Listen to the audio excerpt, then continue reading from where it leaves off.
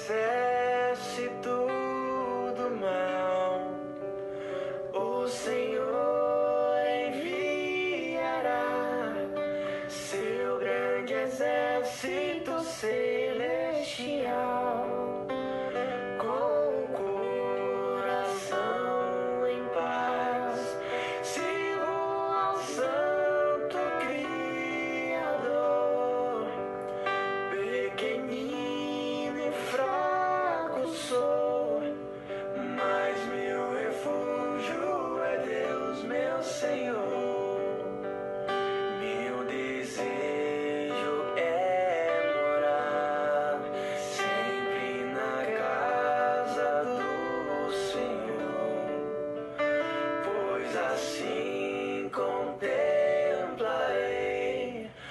love for